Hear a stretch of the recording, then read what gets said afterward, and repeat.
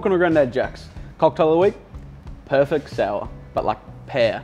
You'll see why. So first we're gonna start off with our double old fashioned glass. Throw some ice into it.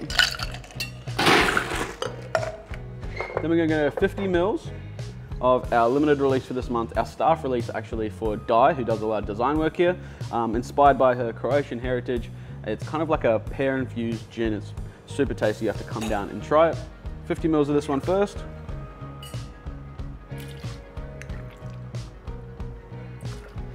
And just 15 mils of sugar syrup.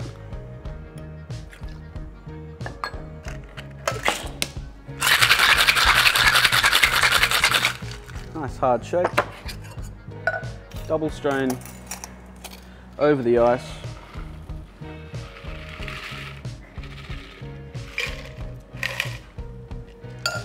Then we're just gonna top, like kind of float on top of this one, just some non-alcoholic Shiraz.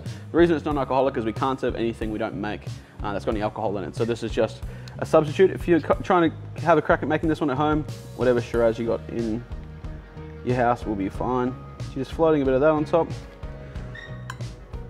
And then we've made some foam in a cream canister, um, basically just like a foam you'd have in a sour. So it's egg whites, um, lemon juice, that sort of thing.